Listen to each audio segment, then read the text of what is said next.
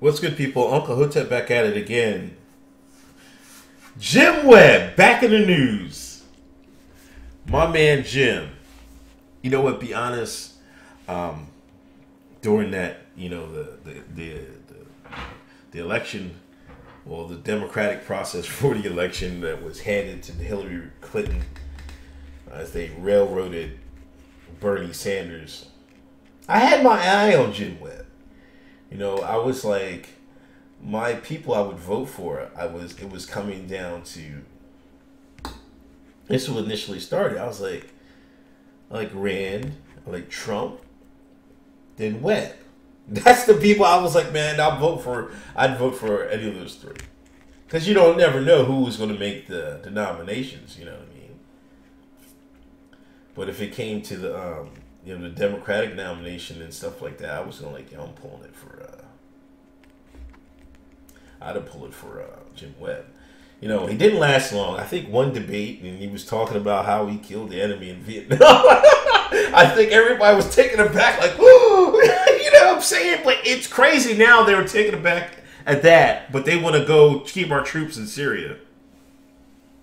You know, he was just stating it like how, he, you know, I mean, he was really in the shit, man. He was, you know I mean? He was like, he was really in, in, in, in the, in the thick of things down there you know, and uh, but you know he he values he knows what the price to pay of our military of our you know having our military uh, be deployed.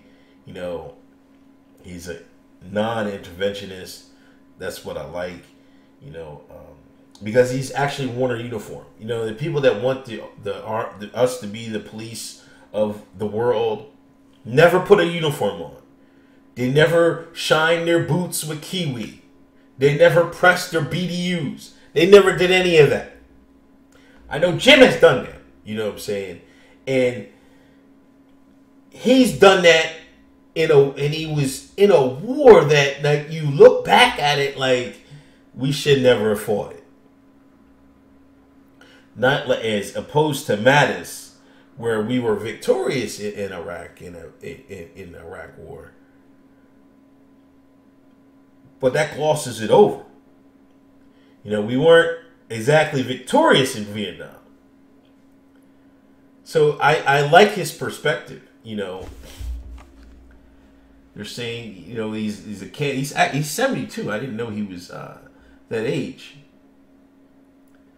But they're saying he, he him and Trump's foreign policy seem to mesh well together and he's up for the nomination for Secretary of Defense. If Trump was, I, I would, um, you know, he was also briefly considered as a running mate in 2016 and later for his cabinet.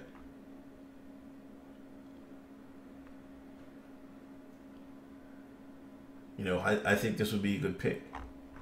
If I was Trump, I, I'd definitely pick him up because I think he's on the outside you know, he's not part of the establishment. I don't think. You know, um, as you can see how he, he he dropped out of the Democratic race. You know, um, and I think that's what Trump needs. He needs more people thinking like him instead of, you know, have Mattis. All these old people are telling him who to pick, and they're like, nah, they're trying to get their agenda over. Um, if his agenda is America first, then I think Jim Webb is the pick for uh, Secretary of Defense. Anyway, this is Uncle Hotep. I'll talk to you later.